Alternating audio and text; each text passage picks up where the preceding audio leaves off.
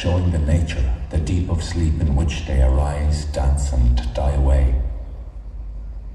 Their coming and going patterns against my stone, revealing my shape in sound, a ghost of geometry, a spirit of line and plane. Weary of solid form, I reluctantly wake from the dreamer's soft melt of watery warmth to my time and shape as a house among many.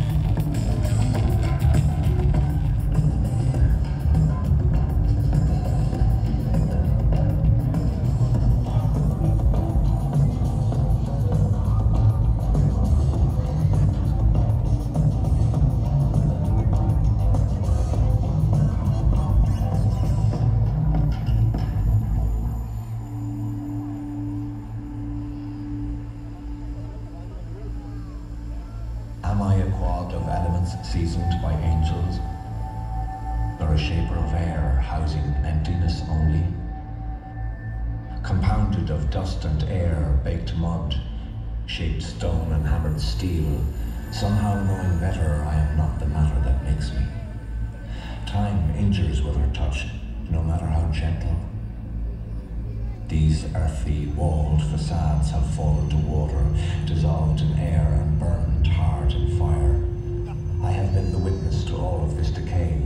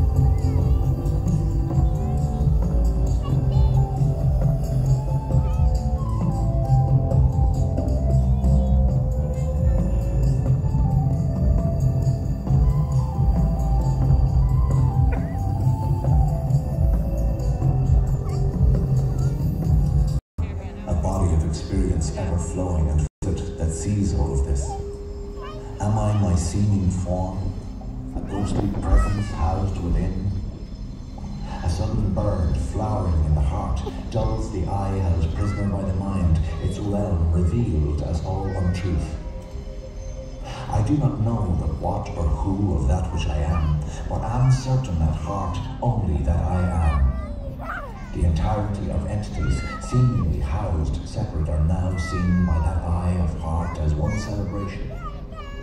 A bouquet of conscious light, all windows and doors are suddenly removed. Light flung free finds and fills itself whole. I am grateful for the dream that held and cut me so small and infinitely relieved we are not what we dream or think ourselves to be.